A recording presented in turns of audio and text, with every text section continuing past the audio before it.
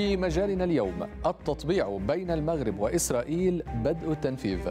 سلالة كورونا الجديدة تطمينات وتحذيرات. رفض ألماني لحظر السلاح على تركيا. أهلا بكم في حلقة جديدة من برنامج المجال. معكم فيها عصام نجاح وبدايتنا بالعناوين. كوشنر يقود وفدا إسرائيليا في أول رحلة طيران بين تل أبيب والرباط للاحتفاء باتفاق التطبيع. ذعر عالمي من السلالة الجديدة لوباء كورونا وشركات اللقاح تؤكد إمكانية التعامل مع التحور الجديد للفيروس. ألمانيا ترفض طلبا يونانيا بفرض حظر السلاح على تركيا بسبب التوتر شرق المتوسط وتقول إنه غير صائب. نستهل مجالنا بملف التطبيع إذ انطلقت من مطار بنغوريون بمدينة تل أبيب أول رحلة طيران مباشرة من إسرائيل إلى المغرب. وتضم الرحلة وفدا أمريكيا إسرائيليا يتقدمهم مستشار البيت الأبيض جاريد كوشنر. واتفق المغرب وإسرائيل على تطبيع العلاقات بينهما بعد وساطة أمريكية بالتزامن مع إعلان واشنطن اعترافها بسيادة المملكة المغربية على الصحراء الغربية. في المقابل رفضت مجموعة العمل الوطنية من أجل فلسطين التي تضم مجموعة من الهيئات الإسلامية والقومية واليسارية المغربية رفضت الزيارة مؤكدة أن كل صفقات التطبيع ساقطة بإرادة الشعب المغربي. تفاصيل أوفى لدى زميل ياسين النهاري. تفضل ياسين. نعم عصام. بداية الطريق لتقريب الشعوب. هكذا يرى كبير مستشاري البيت الأبيض جاريد كوشنر إعلان استئناف العلاقات بين المغرب وإسرائيل مع أول رحلة جوية مباشرة بين تل أبيب والرباط على متنها وفد أمريكي وإسرائيلي. وهي خطوة تأتي في أعقاب الاتفاق الأخير بين إسرائيل والمغرب الذي لعبت فيه واشنطن دور الوساطة لتصبح المغرب. رابع دولة عربية خلال بضعة أشهر فقط تعلن تطبيع علاقاتها مع إسرائيل بعد كل من الإمارات والبحرين والسودان. وفيما بدت مقايضة سياسية حصل المغرب على اعتراف الولايات المتحدة بسيادته على منطقة الصحراء الغربية المتنازع عليها منذ سبعينيات القرن الماضي بقرار للرئيس الأمريكي دونالد ترامب خالف به عقودا من السياسة الأمريكية تجاه هذه القضية. رحلة شركة طيران العال الإسرائيلية التي وصفها حساب إسرائيل بالعربية على تويتر بالرحلة التاريخية تعد أول رحلة مباشرة تربط تل أبيب بالعاصمة المغربية الرباط. وضمت وفدا أمريكيا وإسرائيليا يتقدمهم مستشار الرئيس الأمريكي وصهره جاريد كوشنر ورئيس مجلس الأمن القومي الإسرائيلي مائير بن شبات الذي يلتقي خلال هذه الزيارة العاهل المغربي محمد السادس تمهيدا لسلام دافع حسب وصف كوشنر. لدينا العديد من الاتفاقيات التي نتطلع إلى إبرامها بين الطرفين. ونأمل أن يمهد ذلك الطريق لسلام دافئ آخر بين إسرائيل والمغرب ويبدأ الشعبان المغربي والإسرائيلي في التعرف على بعضهما بعضا وخوض هذه التجربة معا. الأمم المتحدة من جانبها أحاطت مجلس الأمن بمستجدات قضية الصحراء الغربية بعد اعتراف واشنطن بسيادة المغرب عليها بالتزامن مع تطبيع المغرب مع إسرائيل. إذ أكد المتحدث باسم الأمين العام للأمم المتحدة ستيفن دوجاريك أن لا تغييرات إجرائية كبيرة من جانب المنظمة تجاه القضية وأن موقفها المؤيد لإيجاد حل من خلال الحوار لم يتغير. أكان تطبيعا أم استئنافا للعلاقات المغربية الإسرائيلية حسب ما تؤكد الرباط. الأمر سيان بلد عربي آخر يمضي في ركب الرئيس الأمريكي دونالد ترامب المتعطش لأي إنجاز يختم به فترة حكم عاصفة ومليئة بالتناقضات. إليك عصام. شكرا جزيلا لك ياسين. ونرحب بضيفنا من رام الله الكاتب والباحث السياسي الأستاذ ساري عرابي. أستاذ ساري مرحبا بك. بداية المغرب حاول التنصل من كلمة تطبيع. بالحديث عن أنها عودة لعمل مكتب الاتصال مع إسرائيل. هو تطبيع أو أو عودة علاقات على مستوى معين. ما الذي تفهمه من هذا؟ لا هو بالتأكيد تطبيع. وحتى لو كان استئناف لعلاقات سابقة كانت موجودة منذ اواسط تسعينيات القرن الماضي حتى تلك العلاقات هي أيضا علاقات تطبيعية. وهذا بغض النظر عما يقال من علاقات تاريخية بين المغرب وما بين الكيان الإسرائيلي منذ الستينيات أو منذ سبعينيات القرن الماضي. هذا اولا. ثانيا أيضا يأتي هذا التطبيع في سياق موجة تطبيع عربية تقودها دولة الإمارات العربية المتحدة. ويراد أيضا من التطبيع العربي أن يتحول جسرا ليمتد إلى دول إسلامية كما ظهر مؤخرا من ضغوط إماراتية على دولة الباكستان. وكما آه، كان هناك حديث اليوم عن عروض أمريكية على إندونيسيا مليار دولار مقابل التطبيع مع الكيان الإسرائيلي. وبالتالي التطبيع المغربي يأتي في سياق آه، هذه الموجة من التطبيع. وحتى دولة الإمارات العربية المتحدة ليست بعيدة عن هذه الموجة بدليل أنها فتحت قنصلية لها في الصحراء الغربية قبيل هذا التطبيع مما يعني أنه كان هناك مخطط وهناك تربيطات وهناك علاقات واتصالات لدى مجموعة من القوى الإقليمية الإقليمية والدولية من أجل تكريس حالة التطبيع القائمة الآن بين عدد من الدول العربية وبين إسرائيل.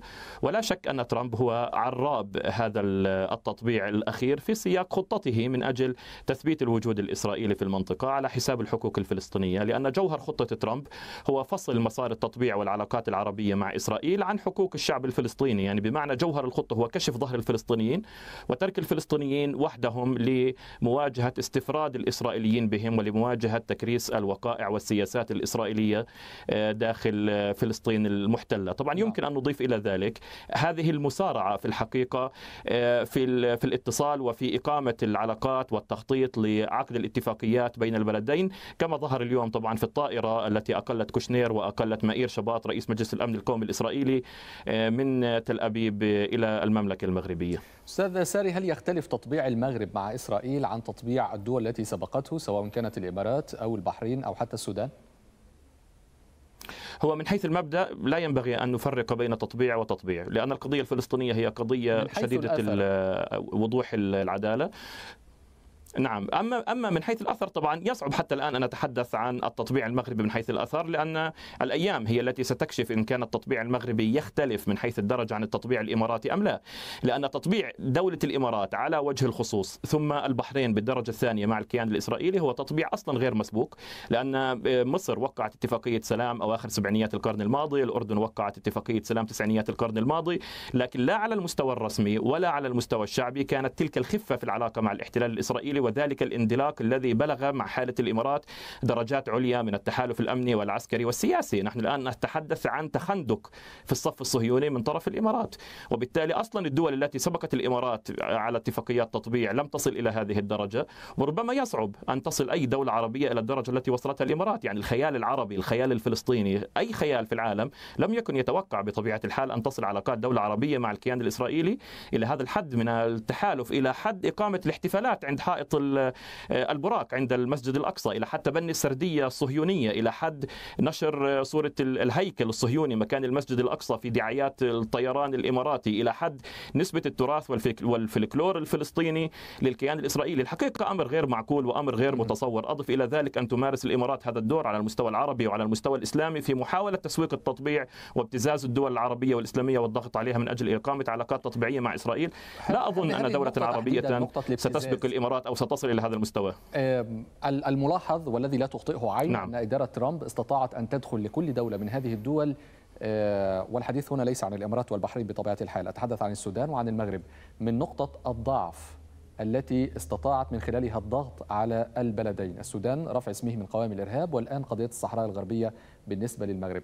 باقي الدول العربية الكل لديه نقاط ضعف. هل سينتشر آه، التطبيع بهذا الشكل إذا ما ضغطت على دول أخرى؟ بالتأكيد اولا آه، ثمة إشكالية، كل الدول العربية بلا استثناء الأنظمة الحاكمة تفتقد لمشروعية شعبية حقيقية. الدول العربية عموما ولا سيما طبعا إذا كنا نتحدث عن منطقة الخليج باعتبارها هي يعني التي تقود قاطرة التطبيع في الآونة الأخيرة كانت تستند تاريخيا إلى حماية غربية، بريطانيا اولا ثم الولايات المتحدة الأمريكية في مرحلة آه، تالية. آه، أضف إلى ذلك بالإضافة إلى افتقاد الشرعية الشعبية، الدولة العربية الوطنية الحديثة هي في الحقيقة فشلت في كل وعودها، يعني سواء كانت دولة قومية في مراحل ماضية فشلت أن تقود مشروعا قوميا عربيا وتحولت إلى دول ديكتاتورية استبدادية تضطهد شعوبها باسم فلسطين الأمر الذي أساء للقضية الفلسطينية. أو إذا كانت دولا وطنية ليبرالية ترفع شعار البلد الفلاني.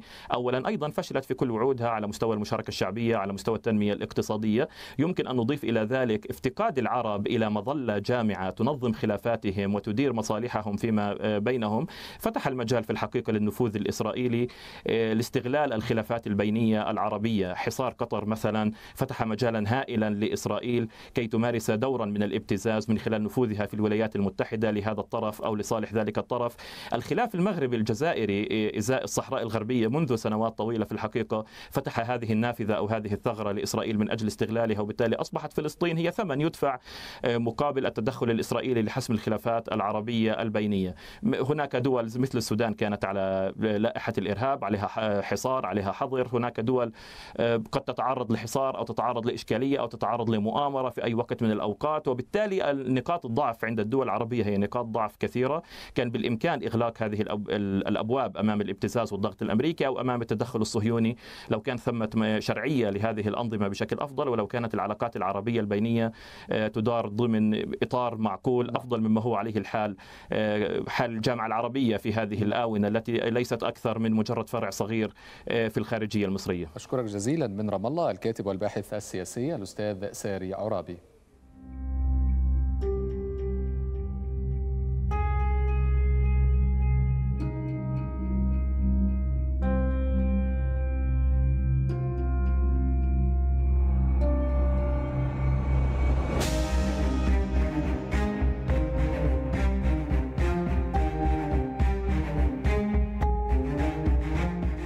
تستمر عمليات وقف الطيران بين المملكة المتحدة وعدة دول حول العالم بعد تأكيد انتشار السلالة الجديدة من فيروس كورونا في أنحاء واسعة من جنوب شرق البلاد. وتأتي المخاوف الدولية من هذه السلالة في وقت أكدت فيه منظمة الصحة العالمية قدرة هذا الفيروس على الانتشار أسرع من سابقه. فوضى على الحدود البريطانية مع فرنسا. بعدما قررت باريس وقف حركة النقل البري بين البلدين بسبب تفشي السلالة الجديدة من فيروس كورونا. قرار أدى لتقطع السبل بمئات الشاحنات على حدود بريطانيا وداخلها. فيما قالت السلطات أن الخطوط خارج ميناء دوفر على القناة الإنجليزية تقلصت بنحو الثلثين. لم تكن فرنسا وحدها من قطعت صلاتها ببريطانيا.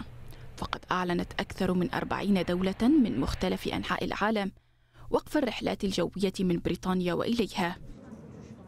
قيود العزل الدولية لحقتها دعوات داخلية من المستشارين العلميين للحكومة البريطانية بتشديد القيود المحلية خلال الأسابيع المقبلة. بعد إعلان وزير الصحة مات هانكوك أن السلالة الجديدة خارجة عن السيطرة. وتأكيد علماء من جامعة إمبريال كوليدج لندن أن لدى السلالة الجديدة ميلا أعلى لإصابة الأطفال. تتغير الفيروسات بمرور الوقت وهذا أمر طبيعي ومتوقع. يجب وقف انتقال جميع فيروسات سارس كوفيد بأسرع ما يمكن. كلما سمحنا لها بالانتشار زادت فرصتها للتطور. علماء من المجموعة الاستشارية البريطانية التي تعنى بالتهديدات الفيروسية أشارت إلى أن السلالة الجديدة أصبحت السائدة في جنوب بريطانيا وأنها قد تنتشر أيضا بسرعة فائقة في أرجاء البلاد. وينضم إلينا عبر سكايب من لندن الدكتور عبد الكريم قزيز الاختصاصي في علم الوبائيات والمحاضر والباحث المشارك في جامعة الملك في لندن. دكتور عبد الكريم مرحبا بك. بداية حالة الذعر التي انتشرت الآن بسبب السلالة الجديدة لكورونا والتي ظهرت في بريطانيا هل هي مبررة برأيك أو غير ذلك؟ أسعد الله مساءكم جميعا. يعني في الحقيقة لم تكد تهنأ بريطانيا في الأخبار الإيجابية الناتجة عن ترخيص اللقاحات الجديدة لقاح فايزر ويليه الآن لقاح أكسفورد خلال أيام قديمة حتى خلال أيام قادمة حتى سمعنا بهذه السلالة الجديدة. في الحقيقة في البداية كان الذعر مصدره الأساسي هو سرعة انتشار هذه السلالة. وكانت يعني الحكومة البريطانية تخوفت يعني من أعياد الميلاد ومن الاختلاط الاجتماعي والذي يحدث عادة عادة في أعياد الميلاد ولذلك يعني رفعت مستوى الجاهزية وأصدرت وأصدرت حزمة قرارات صارمة جدا قد تكون هي الأصرم منذ بداية هذه الجائحة ولكن يعني علميا هل هذا الخوف مبرر؟ كي نقيم خطورة خطورة هذه السلالة نقيم ثلاثة أمور، المسألة الأولى هي قدرتها على الانتشار وإحداث العدوى، فعلا هذه السلالة تبدو لنا أنها أسرع انتشارا من السلالة الأخرى، وبالتالي هنا نعم قد يكون هناك تبرير الاجراءات الأمر الثاني هو قدرة ال ال هذه السلالة على إحداث مرض أشد وهو أمر غير وارد. لحد هذه اللحظة نحن نعلم أن هذه السلالة الجديدة تسبب نفس الأعراض ونفس المرض دون زيادة شدة المرض الأمر الثالث هو فعالية العلاجات واللقاحات. نعم. وفعلا هذه السلالة هي نفس السلالة الماضية أو السلالات الماضية من ناحية فعالية اللقاحات عليها. وهنا سؤال عن شركات آه، الأدوية المنتجة للقاح حتى الآن والتي تقول بأن لقاحاتها تستطيع التعامل مع هذا التحور في آه، فيروس كورونا. إلى أي مدى هي محقة في ذلك؟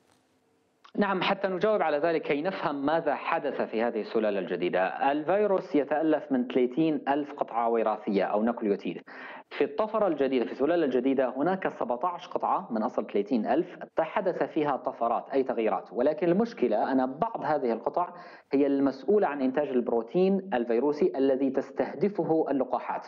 وبالتالي في البداية كانت هناك مخاوف ولكن اللقاحات هي تستهدف العديد من القطع الوراثية في لهذا الفيروس. وبالتالي مخبريا خلال الأيام الماضية تم إثبات فعالية هذه اللقاحات على السلالة الجديدة.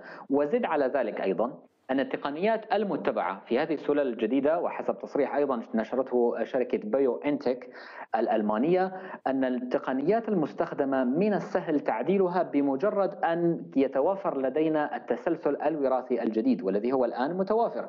وبالتالي حتى لو ظهرت سلالات جديدة في المستقبل لم تكن اللقاحات فعالة عليها فهناك إمكانية من تعديل اللقاحات لإنتاج لقاحات فعالة ضد السلالة الجديدة. ولكن احتمال ظهور سلالات جديدة إن شاء الله هو ضعيف نسبة يعني قلة معدل حدوث طفرات في هذا الفيروس. هنا دكتور عبد الكريم الحديث عن الإجراءات الاحترازية من ارتداء الكمامات والتباعد الاجتماعي وإلى ما دون ذلك من إجراءات متخذة منذ ما يقرب من عام الآن هي لم تحل دون ظهور هذه السلالة الجديدة لم تحل دون انتشارها هل يعني ذلك أن هناك ربما خلل في هذه الإجراءات؟ في الحقيقة يعني آه، هناك عدة آه، آه، أمور تتعلق بظهور هذه السلالة. يعني بغض النظر عن اتباع التزام الناس بهذه الإجراءات فإن حدوث الطفرات هو أمر طبيعي. كل الفيروسات على وجه المعمورة تتعرض لطفرات بشكل طبيعي وبالعكس يعني هذا الفيروس قد تعرض لطفرات أقل من فيروسات أخرى مثل الإنفلونزا. ولكن يعني ربطا على موضوع الالتزام بالقواعد التباعد المجتمعي وغيره فأنا أعتقد أن ظهور هذه السلالة في جنوب شرق إنجلترا كان يعني مرافق أو تضخم هذه السلالة وانتشارها كان مرافق لرفع الحظر الذي كان ساريا في بريطانيا حتى اثنين من الشهر الحالي، الثاني من الشهر الحالي وأيضا في الفئات في انتشر في مدن مزدحمة وخاصة أن الناس كانت تحضر لأعياد الميلاد فقد يكون هذا العامل قد لعب دورا في يعني إعطاء المساحة والتربة الخصبة لهذه السلالة للانتشار. هل يعني ذلك دكتور أن سياسات الإغلاق قد تمتد معنا على مدار العام القادم 2021 للأسف قد تكون هذه الأخبار غير السارة، نعم أن هذه الإجراءات سوف تمتد معنا إلى العام المقبل. ريثما نتأكد أن نسبه كبيرة من الناس قد تم تلقيحهم من اللقاحات الجديدة وأن هذه اللقاحات فعالة ضد السلالات المختلفة التي يعني قد تظهر من الفيروس، ولذلك هذه القواعد التباعد المجتمعي، لبس الكمامة، غسل اليدين والبقاء في المنزل إن أمكن، هذه القواعد هي التي أثبتت فعاليتها في الحد من انتشار السلالات السابقة من هذا الفيروس ولا بد من الالتزام بها في العام القادم حتى نوفر حماية لأكبر عدد من الناس عبر اللقاحات. أشكرك جزيلا من لندن الدكتور عبد الكريم قزيز الاختصاصي في علم الوبائيات والمحاضر والباحث المشارك في جامعة الملك في لندن.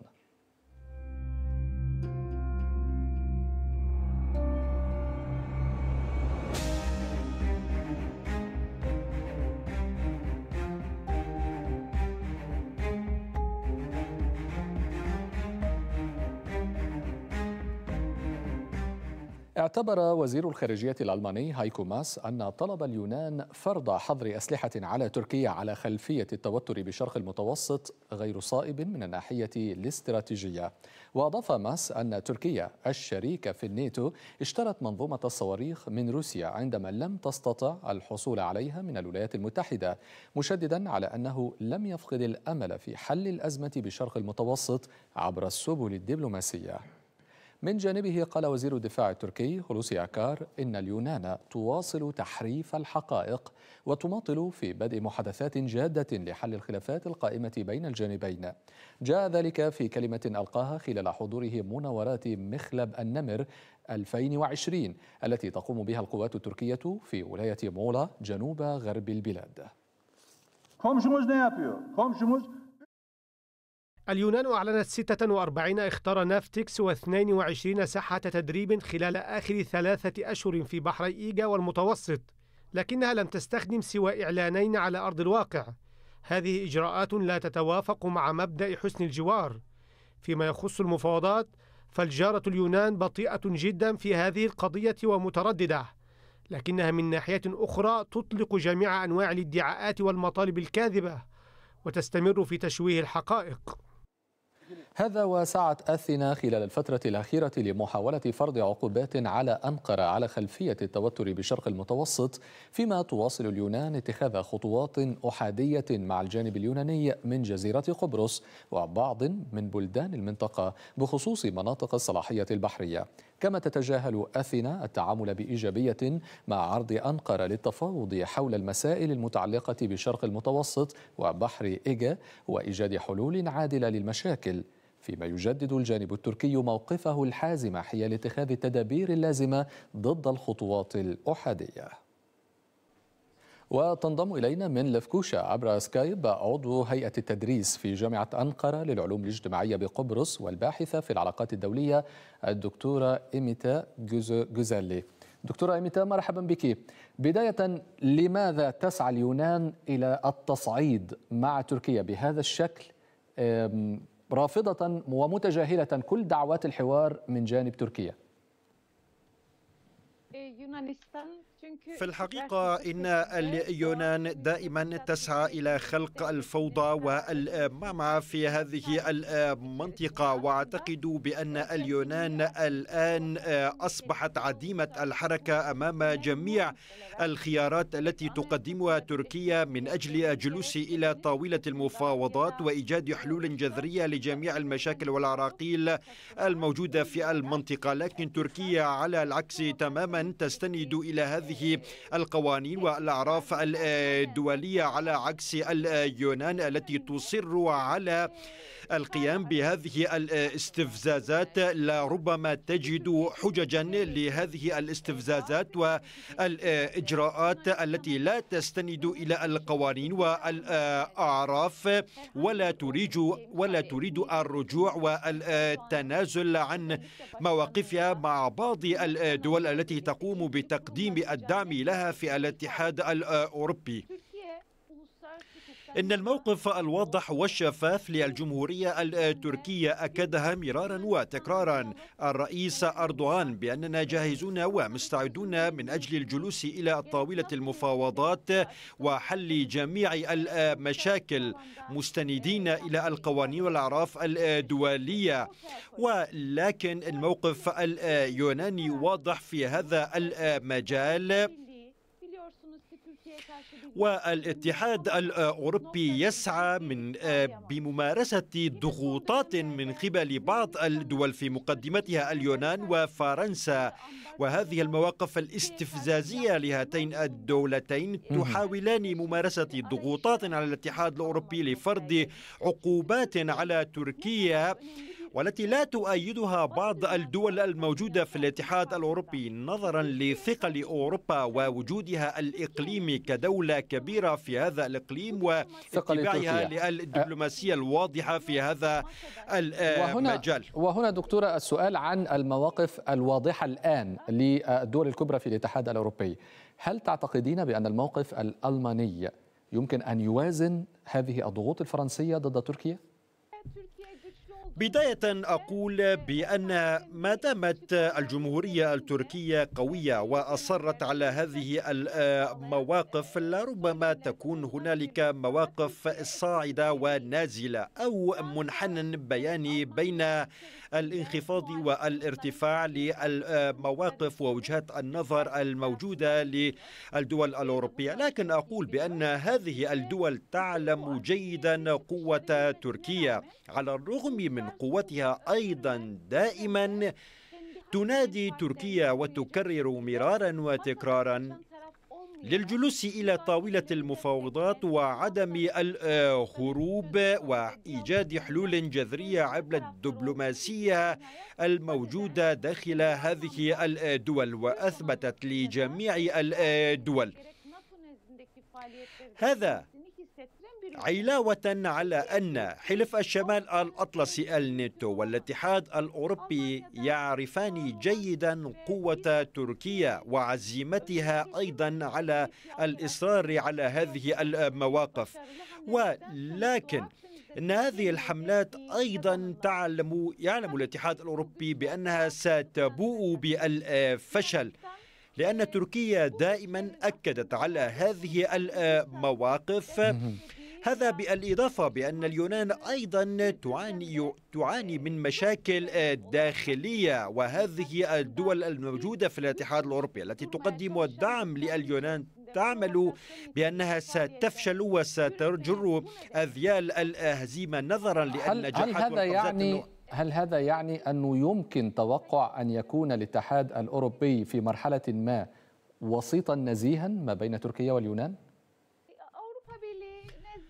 أقول بأن الاتحاد الأوروبي الآن لا ينظر إلى الحل العادل لأنكم كما تعلمون هذه المشكلة بين دولتين جارتين هي التركية هي عفوا هي جمهورية تركيا واليونان.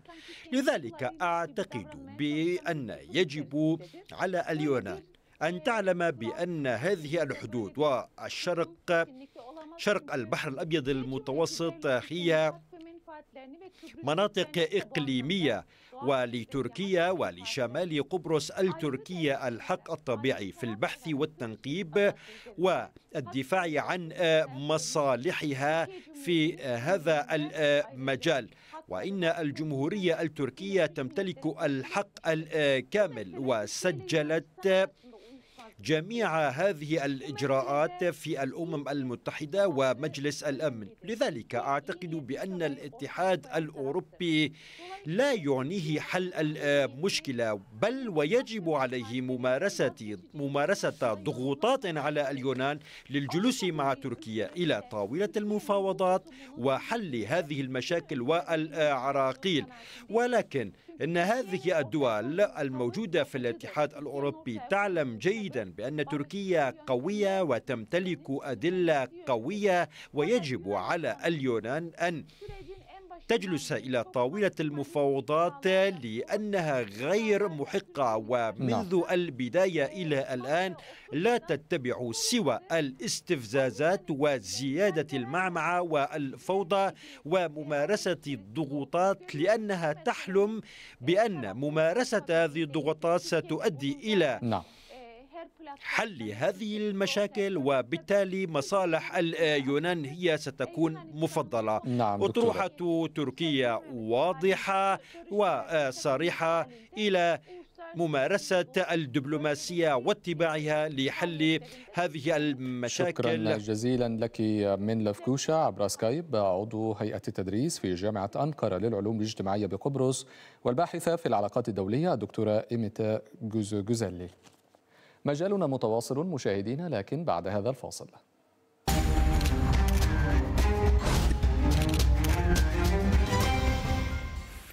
أهلا بكم من جديد. قالت صحيفة واشنطن بوست الأمريكية إن أكثر من مليون وثلاثمائة ألف ناخب أمريكي أدلوا بأصواتهم في الاقتراع المبكر لانتخابات الإعادة على مقعدي مجلس الشيوخ في ولاية جورجيا المقررة في الخامس من يناير المقبل. وذكرت أن الأرقام تعطي أفضلية للديمقراطيين في التصويت المبكر لكن الصحيفة أشارت في المقابل إلى أن الجمهوريين يقلصون الفجوة مع احتدام المعركة الانتخابية على المقعدين اللذين قد يقلبان الموازين ويحددان مصير إدارة بايدن وقدرتها على تنفيذ وعودها للعامين المقبلين. بعد طي صفحة الرئاسية الأمريكية بتثبيت المجمع الانتخابي فوز جو بايدن تتجه الأنظار إلى انتخابات الإعادة على مقعدي مجلس الشيوخ في ولاية جورجيا. والتي قد تتيح للجمهوريين الاحتفاظ بسيطرتهم على المجلس أو تمكن الديمقراطيين من قلب الطاولة. أكثر من مليون وثلاثمائة ناخب في ولاية جورجيا أدلوا بأصواتهم في التصويت المبكر في انتخابات الإعادة لمجلس الشيوخ المقررة في الخامس من يناير المقبل. ويتقدم الجمهوريون على الديمقراطيين بفارق مقعدين وفق المعطيات الحالية في مجلس الشيوخ. لكن فوز الديمقراطيين بمقعدين إضافيين سيمكنهم من معادلة الجمهوريين بخمسين عضوا في المجلس للجانبين. وسيكون حينها لنائبة الرئيس المنتخب كاميلا هاريس القول الفصل في المجلس. أما في حال فاز الجمهوريون فإن السيطرة على مجلس الشيوخ ستمكنهم من تعطيل مشاريع قوانين جو بايدن. كما سيتمكنون وفق خبراء من تعطيل المراسيم الرئاسية في المحكمة العليا حيث الأغلبية من المحافظين القريبين في آرائهم من الجمهوريين مما قد يحد من قدرة بايدن على متابعة سياسته الداخلية والخارجية. انتخابات تكتسب أهمية استثنائية لكل من الجمهوريين والديمقراطيين حيث يطمح الديمقراطيون للفوز بالمقعدين ما يتيح لهم نصف مقاعد المجلس على أن يكون صوت نائب الرئيس هو المرجح لكفتهم. وبذلك يسيطرون على الشيوخ والاستحواذ على السلطتين التشريعية والتنفيذية. فيما يعتبر الجمهوريون الفوز في جورجيا بمثابة أمل بعد خسارتهم مجلس النواب والرئاسة. وينضم إلينا عبر سكايب من واشنطن الأستاذة روان أرجولة الباحثة في الشأن الأمريكي وشؤون الشرق الأوسط. أستاذة روان مرحبا بك. بداية ما هي أهمية تلك الانتخابات؟ أهلا وسهلا. أهلا وسهلا بك. في ضوء هذا الفارق الضئيل ما بين الديمقراطيين والجمهوريين على المقعدين في جورجيا. نعم أهمية هذه الانتخابات هي بأهمية الانتخابات الرئاسية لأنها هذين المقعدين سوف يحددان من هو سيكون الأغلبية له في مجلس الشيوخ. يعني نحن نعلم أن الآن المجلس النواب له أغلبية قليلة جدا وهي بقيادة نانسي بلوسي أي الحزب الديمقراطي. ولكن على مجلس الشيوخ يعني الآن يعني الاحتدام لأنه قد نرى مجلس الشيوخ ومجلس النواب والبيت الأبيض كله ديمقراطي أو أنه قد يصبح ذو أغلبية بسيطة جمهورية وبالتالي يعني القوانين والأنشطة وكل المراسم التي يريد أن يقوم بها الرئيس بايدن قد يتم عرقلتها أو بداية عرقلة يعني حتى تعيين وتنصيب يعني مسؤولين في إدارته. نسب التصويت الآن والتي تحدثت واشنطن بوست عن أنها مرتفعة. إلى الآن هي تصب في صالح الديمقراطيين ولو بفارق ضئيل. هل تتوقعين أن يستمر الحال بهذا الشكل؟ نعم ولكن يعني نحن الآن نرى أن يعني هناك التصويت المبدئي التصويت المبكر والشخصي لا يوجد هناك العديد من التصويت عبر البريد أو عبر يعني عبر البريد أو عبر البطاقات الغائبة. يعني نعم هذا هذا الموضوع جدا يذكرنا بالانتخابات وكيف كانت ولكن الجمهوريون يعني غالبا يذهبون للتصويت في يوم الانتخاب وهو الخامس من جانوري. مزاج الناخب الأمريكي الآن وبعد ظهور أن جو بايدن هو الرئيس المنتخب. إلى أين سيتجه برأيك؟ إلى تعزيز أغلبية الديمقراطيين أيضا في مجلس الشيوخ أو على العكس من ذلك؟ يمكن أن يمنح الجمهوريين عصا يمكن أن تضعها في دواليب الرئيس آه، في آه، نعم مزاج الناخب الأمريكي الآن بصراحة منقسم، هناك استقطاب عالي جدا في الولايات المتحدة الأمريكية، فمثلا يعني في حملات آه، الانتخابية لكل من الطرفين، يعني نحن نعلم أن الرئيس ترامب ذهب إلى جورجيا وأيضا نعلم أن كاميلا هاريس الآن هي في جورجيا للترويج ولحضور يعني مجالس انتخابية. وأيضا إيفانكا ترامب آه، يعني آه، ليس فقط الحديث عن أهمية هذا السباق بقدر ما هو الحديث أيضا عن آه، سرقة الانتخابات من قبل يعني الجمهوريين يتحدثون عن أنه تم سرقة الانتخابات وأنهم يريدون من كلا المرشحين سيناتور بيردو وكيلر يعني لأجل أن تقوم ب يعني دعم الرئيس في 6 جانوري لأنه في 6 جانوري هو يوم يعني تصديق والمصادقة على أصوات مجمع الانتخابي. وهناك حديث آه، هو غالبا قد لا يحصل ولكن آه، يعني الحديث عن آه، قد لا يقوم مجلس الشيوخ بتصديق هذه الأصوات. لأنه سوف يتم تحديها ويتم سيتم الاعتراض عن عليها آه، وبالتالي سوف تذهب إلى مجلس النواب، يعني هناك سيناريو آخر يعتمد على من هي الأغلبية في مجلس آه، الشيوخ وكيف سوف يكون له تبعات على الأقل في 6 جانوري. أستاذ روان فكرة سرقة الانتخابات التي يروج لها الرئيس دونالد ترامب وبعض الشخصيات الجمهورية إلى أي مدى تجد رواجا في آه، شريحة واسعة من الناخبين الأمريكيين؟ يعني هي تجد رواجا لمن يروجها ومن يستمع إليها ولكن لا يمكن الإنكار أنه يعني هناك 73 مليون صوتوا للرئيس ترامب يشعرون آه، يعني أنهم تمت سرقة هذه الانتخابات من خلال كما يقولون ويدعون أنه يعني تم توقيف عد الأصوات ثم جاء البريد عبر آه، الأصوات عبر البريد وهي عادة يعني تأتي بنوع من المخالفات ويكون هناك مخالفات. هل هناك يعني سرقه لا ننسى أنه آه، عند نجاح السيد الرئيس ترامب بالانتخابات كانوا قد ادعى الحزب الديمقراطي أن روسيا هي من آه، يعني ساعدته في الانتخابات وكان هناك تهكير وذهبنا إلى يعني الامبيتشمنت أو نزع السلطة عنه. يعني خلال أربع سنوات كان الحزب الديمقراطي ابتدأ بهذه آه، الرسائل أنه هو رئيس غير صحيح لأنه تم سرقة الانتخابات منهم. فما نراه الآن هو استمرار لذلك ولكن على الطرف الجمهوري وهذا سيزيد من الانقسام.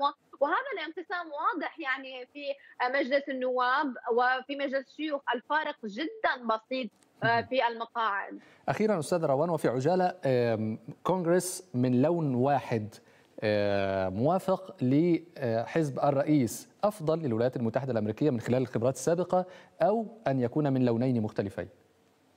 يعني كان هناك كونغرس من لون واحد على أيام كلينتون ولكن ماذا حدث بعد كلينتون؟ يعني آه، هناك مما لا شك فيه أنه سوف يكون هناك شريحة آه، كبيرة أو يعني ذات حجم معين سوف تشعر أنها مغبونة. وهذا ما شاهدناه خلال العشرين الأعوام الماضية. آه، يجب على أن يكون هنا يجب على الكونغرس حتى لو من لون واحد أن لا يحاول آه، أن يجعل آه، أمريكا فقط حسب مبادئه ويجب أن يعمل مع الطرف الآخر لأنها لن تبقى لن يبقى الكونغرس ذو لون واحد. وهذا ما شهدناه صراحة يعني خلال العشرين عام الماضية بعد الكونغرس ذو لون واحد من أيام كلينتون. شكرا جزيلا لك عبر سكايب من واشنطن أستاذة روان أرجولة الباحثة في الشأن الأمريكي وشؤون الشرق الأوسط. شكرا لك.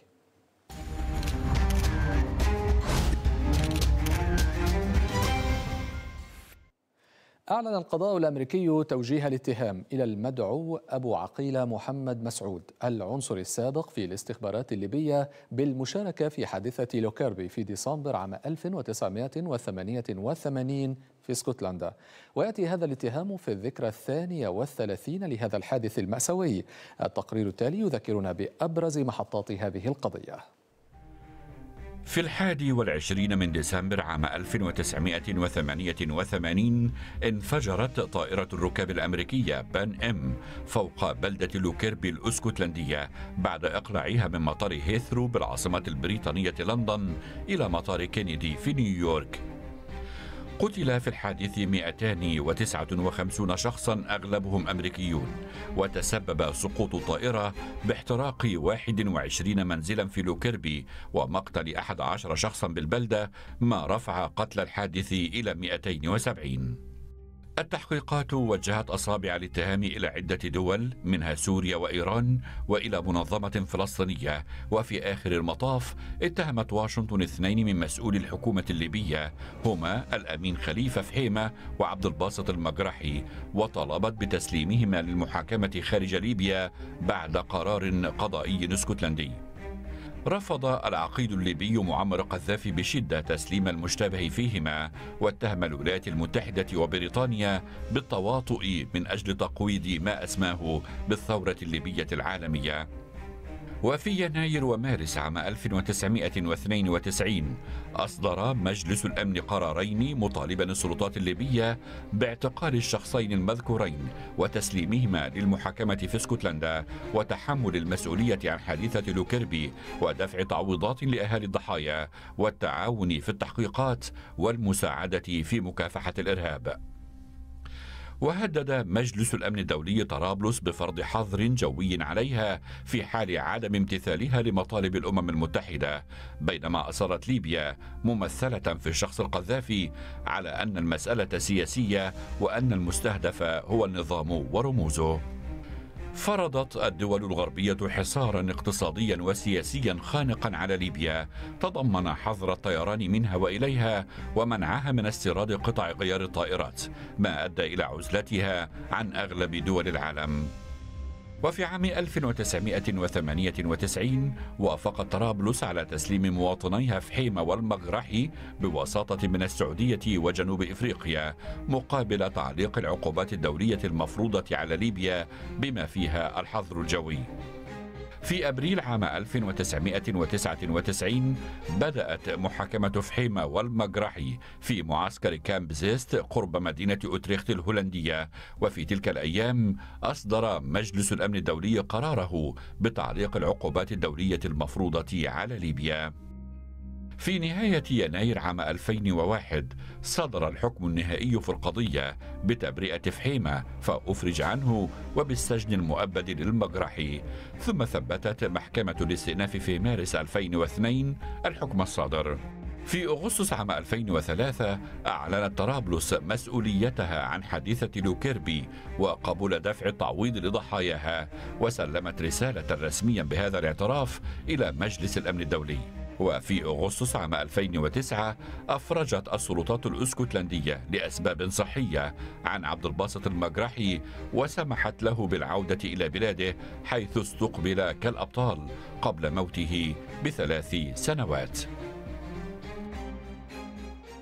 وإلى المجال الرقمي وآخر ما تداوله رواد المنصات لهذا اليوم مع زميل رشا الحلبي. تفضلي رشا. شكرا لك عصام أهلا بكم.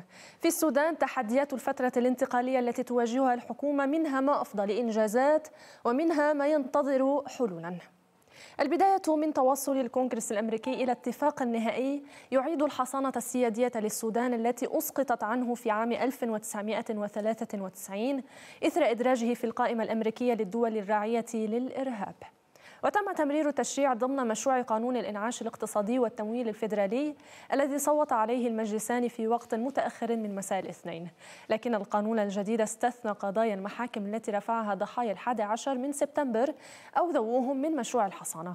وبمجرد توقيع ترامب على مشروع القانون يصبح ساري المفعول وسيفرج عن أموال التعويضات التي تعهد بها السودان لضحايا تفجيرات السفارتين الأمريكتين في كينيا وتنزانيا عام 98 وهجوم عام 2000 التي وصلت إلى 335 مليون دولار تقريباً. ردود فعل رسمية أمريكية وسودانية كانت حاضرة. السناتور كريس كونز الذي صاغ تشريع السلام القانوني السوداني غرد قائلا إنه سيوفر قدرا ضئيلا من العدالة لعائلات ضحايا تفجيرات عام 98 ويمنح السلام القانوني للسودان. مضيفا في تغريدة ثانية أنه يقدر التزام زملائه من الحزبين للتوصل لهذا التشريع التاريخي مؤكدا أنها خطوة حاسمة وتحول في العلاقة بين الولايات المتحدة والسودان الجديد. أما كبير مستشاري المجلس الأطلسي كاميرون هوتسون فغرد مشيدا لأنه بهذه الصفقة تصبح الولايات المتحدة شريكا ماليا وسياسيا في نجاح السودان.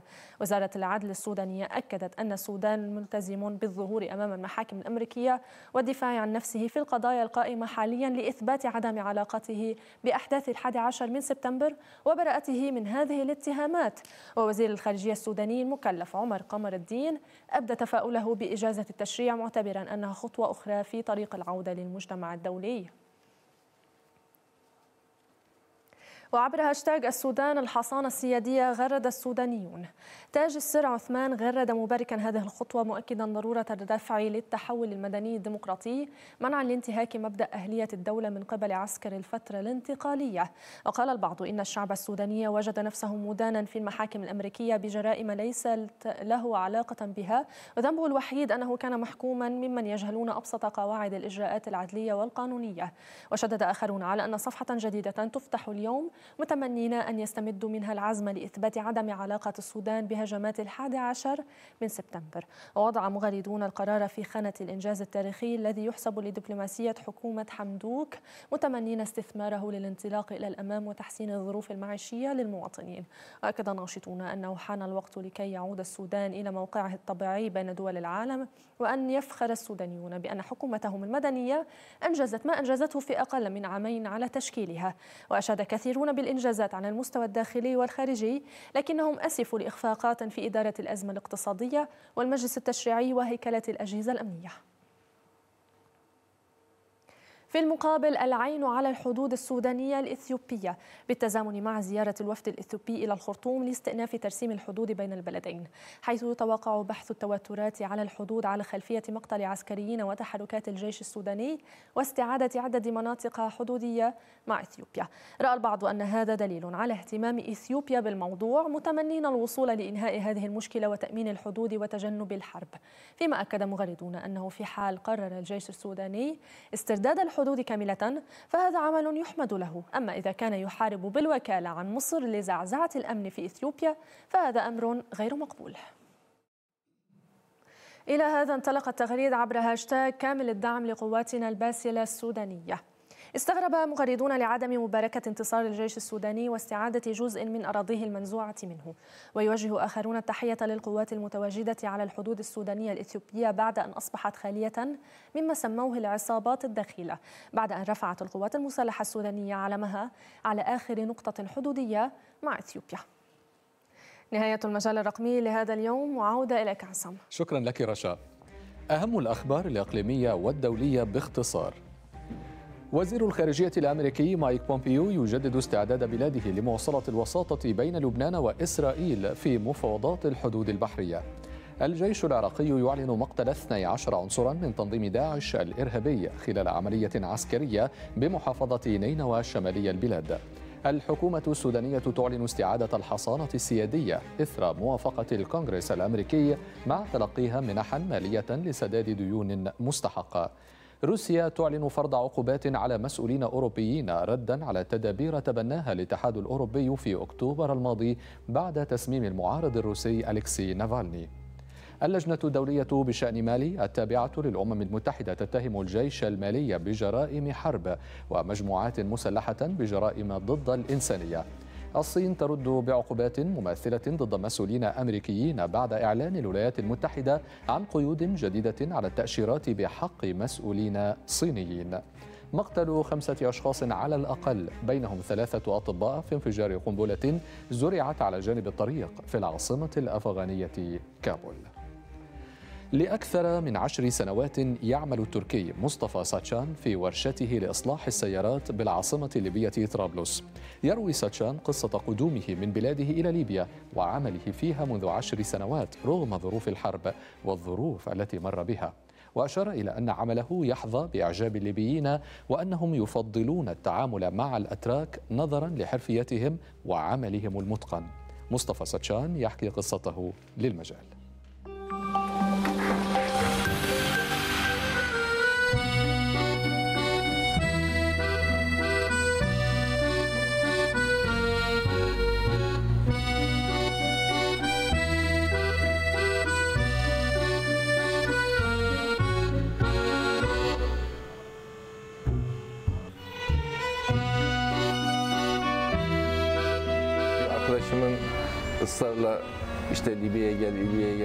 فتحنا ورشة خاصة بنا في تركيا وعملنا حتى 2010 ثم بإصرار من صديقي اشترينا التذاكر ولم يكن هناك تأشيرة بين البلدين وتوجهنا إلى ليبيا.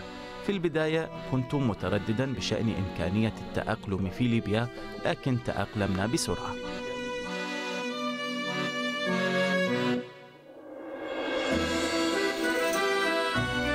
Burada o zaman vize yoktu. الناس في ليبيا قريبون من ثقافتنا. لم يكن التكيف مع الحياة هنا صعبا. تعلمت اللغة العربية مع الوقت ومن لهجة الشارع? من عام 2010 حتى 2014 كانت جيدة بالنسبة لنا اقتصاديا ولكن الظروف أصبحت صعبة منذ ذلك الحين ومع بداية الحرب الأهلية في البلاد.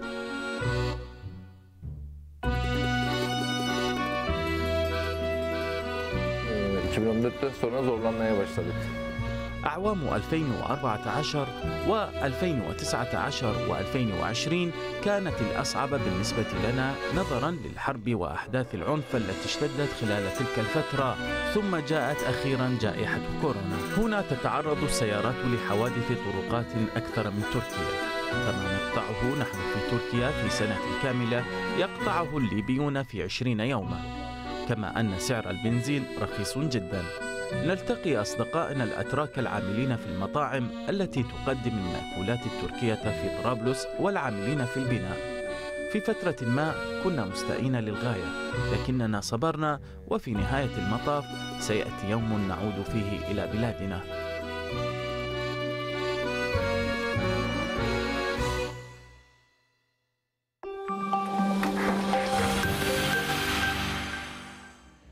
بهذا نأتي إلى ختام مجالنا لهذا اليوم الذي ناقشنا فيه بدء تنفيذ اتفاق التطبيع بين المغرب وإسرائيل، سلالة كورونا الجديدة بين التطمينات والتحذيرات، رفض ألماني لطلب أثينا فرض حظر للتسليح على تركيا، شكرا لحسن المتابعة ودمتم في أمان الله.